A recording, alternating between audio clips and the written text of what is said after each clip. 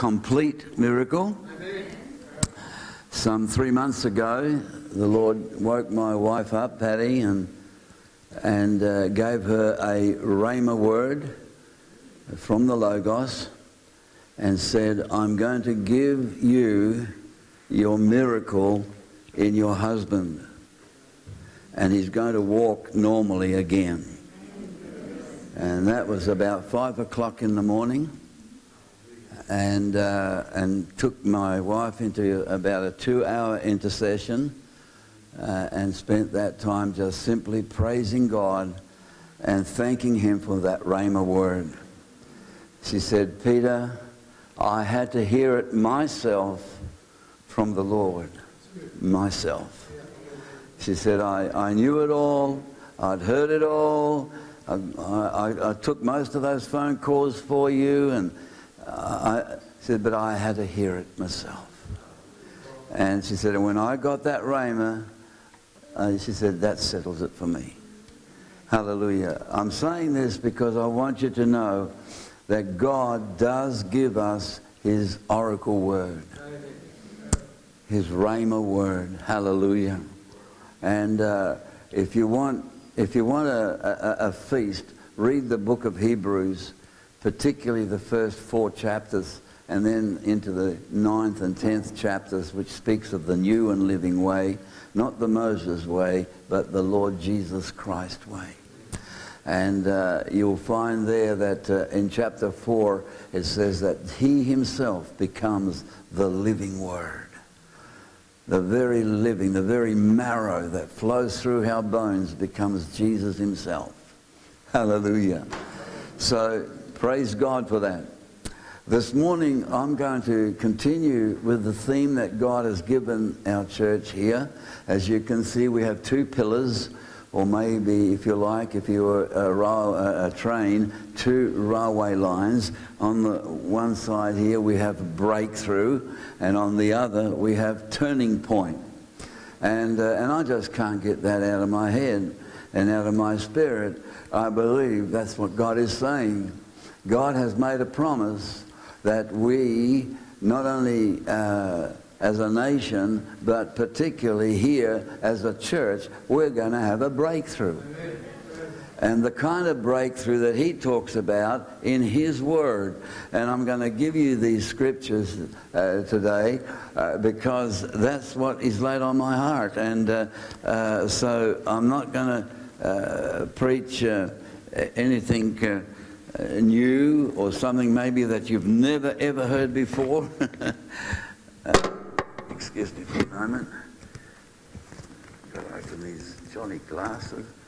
I don't know how they got twisted in there. There we go. All right. Um, but, uh, you know, my pastor used to say to me, Peter, there's nothing new under the sun. and uh, he, he, was right. Hallelujah. Uh, anyway, what I've written here for our tape it is time for breakthrough through the power of turning point. There you go. Does that make sense? So I'm picking up on the theme that God has given us. We're going to see through the scriptures, and, uh, and today what I'm going to do is refer you to three awesome Old Testament stories, and if I can do nothing more than just quote those scriptures, those stories, and leave them with you for you to work out and see how that through those three stories, God illustrates to us for now, for now, this breakthrough that He has promised. The breakthrough is the promise. The uh, how to get that promise is through the turning points that we have to make in our lives, the decisions that we have to make, the uh, steps that we have to do. So I'm going to take these three stories one by one and uh, read them out to you. Uh, and see if we can learn from these and have our breakthrough. I believe each one of you are on the threshold of another breakthrough. And just before I proceed, uh, can may I just excuse myself in this? Chrissy, where are you? Uh, Chrissy, thank you for sharing your testimony this morning. Um, I think you heard me say to you before the service, uh, for three days this week, God had called me to pray and to intercede for Chris. Now, I haven't talked to you for months. I don't know when I last spoke to you, uh, but for some reason, for three days this week, I've had you in intercession. And I knew you were going playing games somewhere. And I knew, and I knew exactly what was going on, I knew exactly what you were doing, and I knew exactly how you were being tempted. And for those three days, I was going through hell with you. And we broke through. We had a breakthrough. And I knew exactly when it stopped, and I knew exactly when it was starting to lift off you. I want to say to you, don't take these things that happen to you, especially spiritually, lightly. When you get these feelings, they're not just feelings, or it's not just a hunch, or not just a, a thought. Listen, this could be the Rhema word of God coming. Either directly to you or through someone else to you. But God's got ways and means of getting to you. and He will. Praise God, because He loves you. You heard the prayer that uh, Pastor Mike prayed uh, in giving thanks for the cross and the communion elements. That love, that love, God says, I love you so much that I'm hard after you. I run hard after you because I love you. And uh, folks, today we are here for a breakthrough. You are waiting and you are in a place, and if you're prepared to do, take the turning point in your life, just like these here that we're going to learn from. The first one is Joshua. If you'd like to turn to Joshua chapter 1, and we're going to read the first nine verses. Now, Joshua had to learn to make a turning point in his life. He had been so uh, influenced, if you like, motivated by Moses, his father, his spiritual father, that uh, he, he was really living another life. He was living a Mosaic life. But the day came when God had to get Moses, uh, Joshua around the neck and say, Listen, I want you, Joshua. I don't want another Moses. I want you. And I want you to hear what I've got to say. And so listen to this story here in Joshua chapter 1. After the death of Moses, the servant of the Lord, it came to pass that the Lord spoke to Joshua, the son of Nun, Moses' assistant, saying, Moses, my servant, is dead. Now, therefore, arise, go over this Jordan, you and all this people, to the land which I am giving to them, the children of Israel, and every place that the sole of your foot will tread upon, I have given to you, as I said to Moses, from the wilderness right through to Lebanon as far as the great river Euphrates and all the land of the Hittites and the great sea toward the going down of the sun shall be your territory.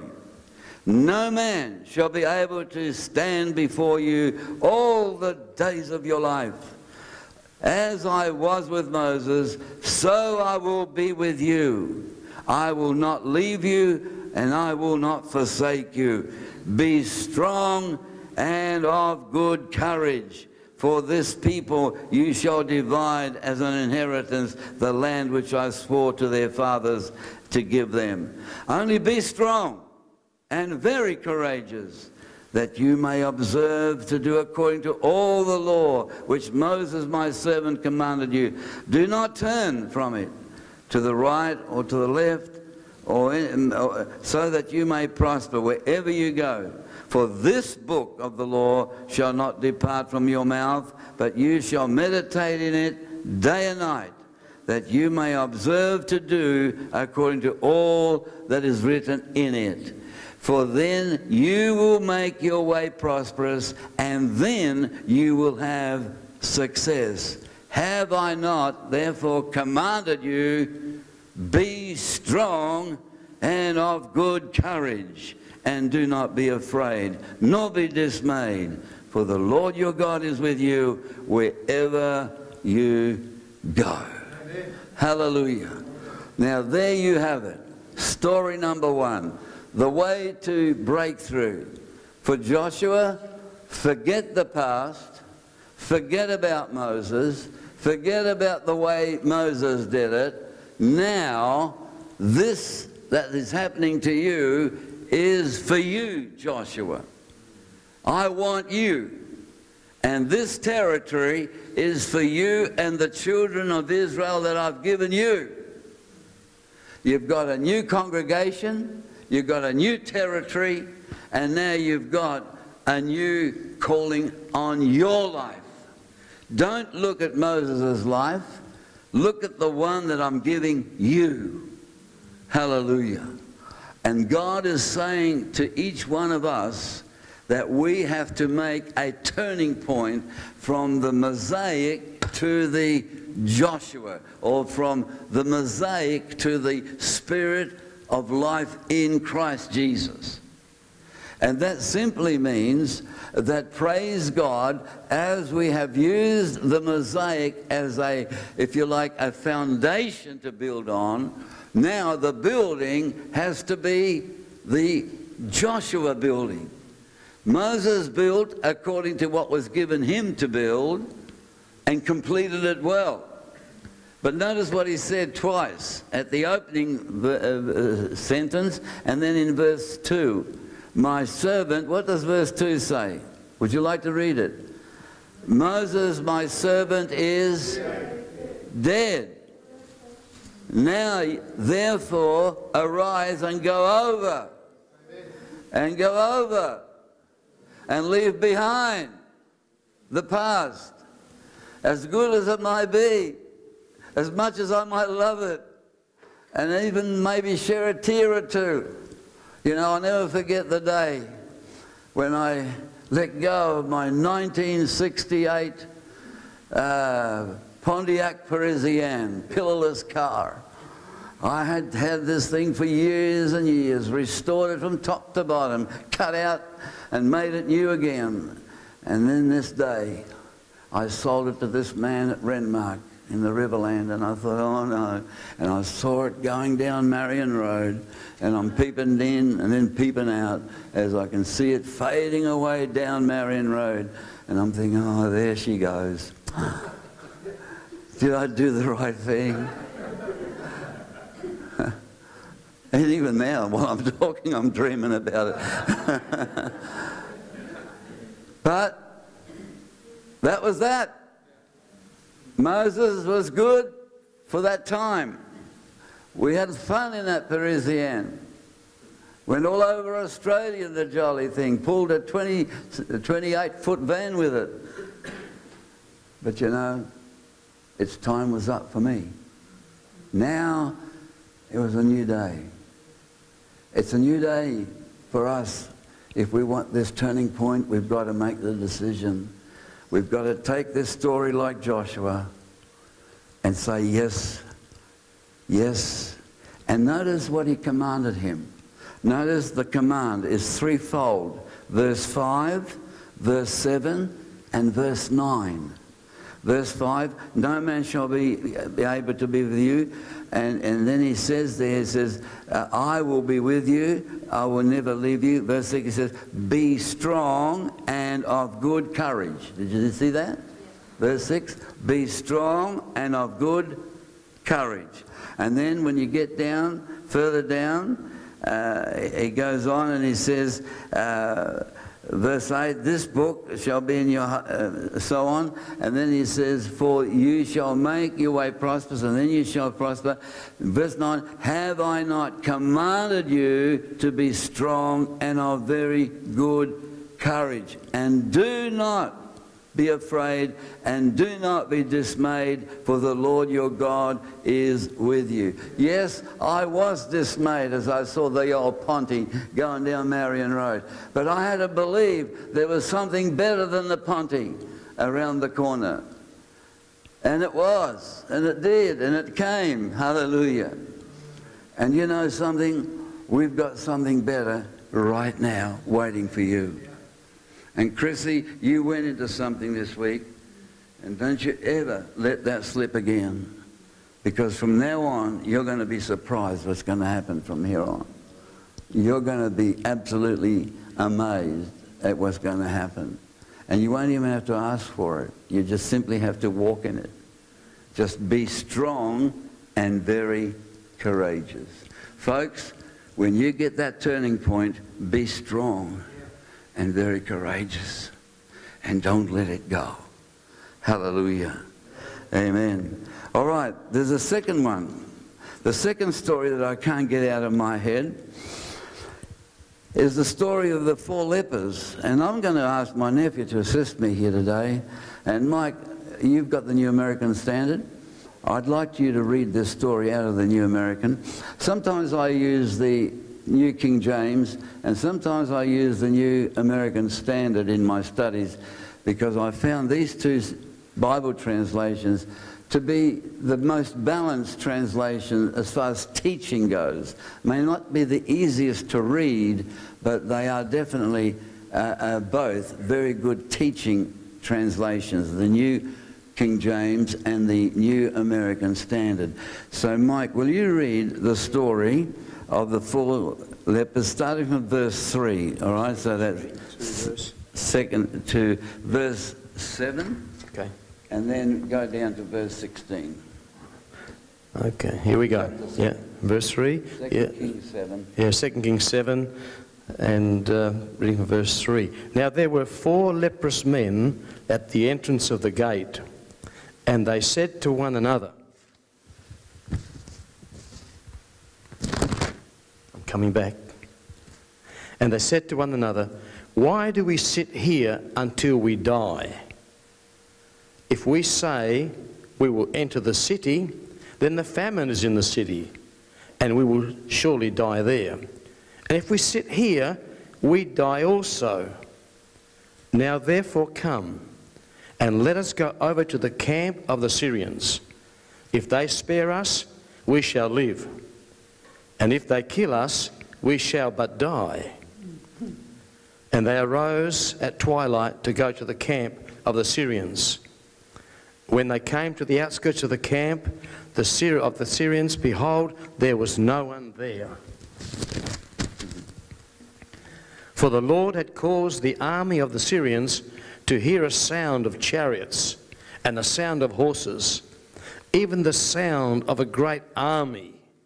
So that they said to one another, Behold, the king of Israel has hired against us the kings of the Hittites and the kings of the Egyptians to come upon us.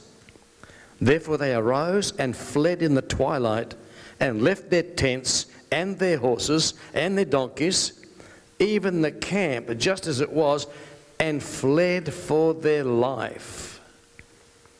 When these lepers came to the outskirts of the camp, they entered one tent and ate and drank and carried from there silver and gold and clothes and went and hid them. And they returned and entered another tent and carried from there also and went and hid them. Then they said to one another, We're not doing right. This is a day of good news. But we are keeping silent. If we wait until morning light, punishment will overtake us. Now, therefore, come, let us go and tell the king's household. Start verse 16, yeah. Okay. And verse 16. So the people went out and plundered the camp of the Syrians. Then a measure of fine flour was sold for a shekel, and two measures of barley for a shekel, according to the word of the Lord. Now the king appointed the royal officer, on whose hand he leaned to have charge of the gate. But the people trampled on him at the gate, and he died just as the man of God had said, who spoke when the king came down to him. And it came about just as the man of God had spoken to the king, saying, Two measures of barley for a shekel and a measure of fine flour for a shekel shall be sold tomorrow about this time at the gate of Samaria. Then the royal officer answered the man of God and said, Now behold, if the Lord should make windows in heaven, could such a thing be? And he said, Behold, you shall see it with your own eyes, but you shall not eat of it. And so it happened to him, for the people trampled on him at the gate, and he died. Hallelujah. Thank you, Mike. Did you get that story? Do you see here four lepers? And someone scoffed. And the one that scoffed was given a word also. Both were Rhema words. One for blessing and one for cursing. To the one who scoffed, said, This time tomorrow, you're going to see it, but you're not going to eat it. Because they're going to trample all over you and you're going to lose your life over it. Because you did not believe. You did not take the opportunity of your turning point. I was ready to give you a breakthrough, but you let it go. You let it slip. You became callous and you scoffed at my blessing. It's gone. It's gone. And you're going with it. But to these four lepers, stay here, we die. Let's go and see what may behold us. Let's take the turning point. We don't understand it. It's foreign, scary, but we know we've heard from God. This is a word from my Lord. See, these were four lepers. They were unclean. They were they weren't allowed to mix. They weren't allowed. They had to be outside the camp, outside the city. They weren't allowed to fellowship. They weren't allowed to live even with their own family. They were excommunicated from life. But for one thing, God had provided a turning point. A turning point that would take them into a new and living way. That new and living way is we, we discover when we come to the Lord Jesus. And he becomes our new and living way. God has a turning point for each every one of us. Be serious about this. Take these stories home, read them, and ask the Lord to show you what he wants you to hear. Why did he give them to Peter Backer? Well, he was studying to share this word with you. I've been studying this thing for over three months, haven't I? Ray, I've been warning about wanting to finish this message because it's there, it's bubbling in my spirit every time. And, and he said, Look, I've given you three stories by three great incidences, and if they will follow those principles, I will do the same for them. A new and living way. Today we had some worship, and uh, I don't know when I was last led by this kind of worship that we had, like we had this morning with the Lord's Prayer Himself. Come on, I felt Jesus was here leading us. When did you last get led by Jesus with his own prayer like this morning? Long time ago. I've had it once or twice in my 57 years of ministry. So thank you, Jeff. I appreciate the leading of the Holy Spirit today in the worship. And uh, folks, with that kind of with that kind of introduction from Jesus himself, we've got a new turning point. There's a new turning point coming for each and every one of you. Some of you have had some turning points. If I was to say, stop right now and think right now, the last major turning point, what was it? Maybe a relationship, maybe a marriage, maybe a new commitment in a job opportunity, or maybe a piece of real estate. I don't know. There's a turning point in your life only just recently. The last two or three years, you've had a turning point, a major one. Do you remember it? Do you give thanks for it? But now, be ready for the next one because there's another breakthrough coming. There's another breakthrough coming. I promise you, before, before the end of December comes, there's going to be a Jubilee type of experience in your life that will bring you a new turning point. Get ready for it.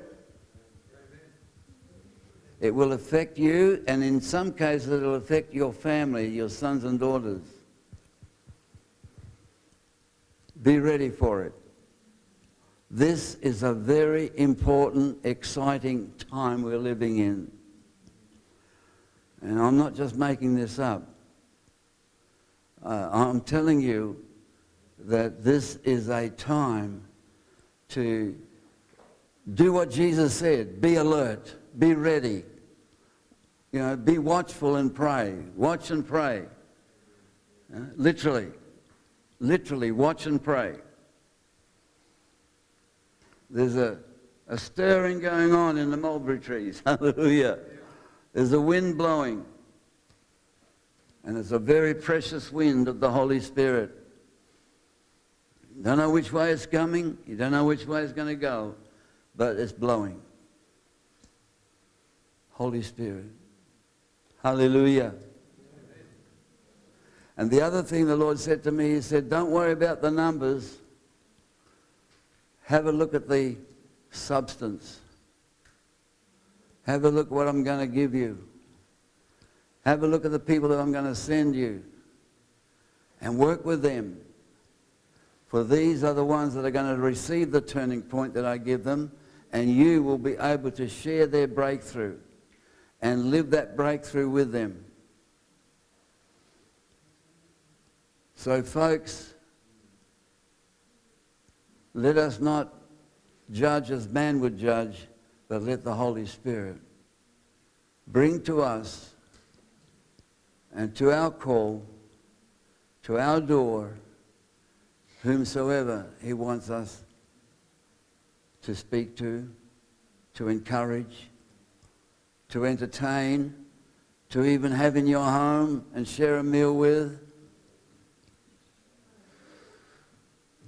Over recent months, the Lord has spoken to Patty and I to just number certain ones that he lays on our heart and be prepared to do what God says to do and to speak as God says to speak.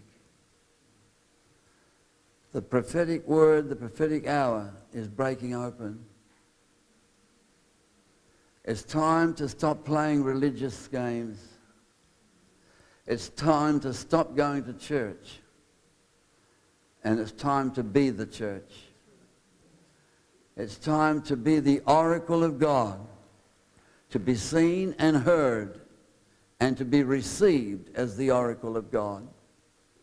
Hallelujah.